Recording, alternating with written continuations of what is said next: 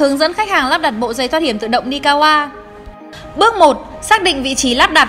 Vị trí lắp đặt lý tưởng là ở ban công, tầng tum hoặc cửa sổ trên tầng cao. Bộ dây thoát hiểm tự động Nikawa phù hợp để lắp đặt ở tường bê tông hoặc tường gạch đặc. Bước 2. Chuẩn bị và lắp đặt. Chuẩn bị những dụng cụ cần thiết bao gồm khoan bê tông, búa, móc treo HI01, cle, bút đánh dấu, 4 vít nở phi 10 đi kèm với bộ sản phẩm.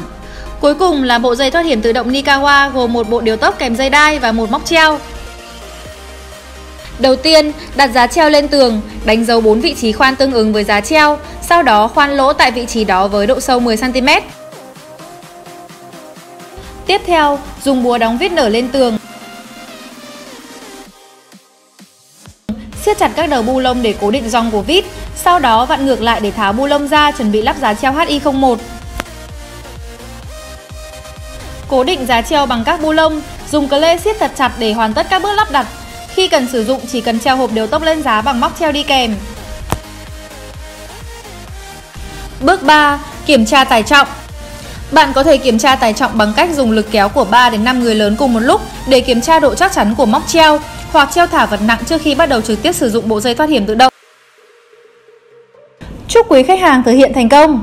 Nikawa, vì sự an toàn của bạn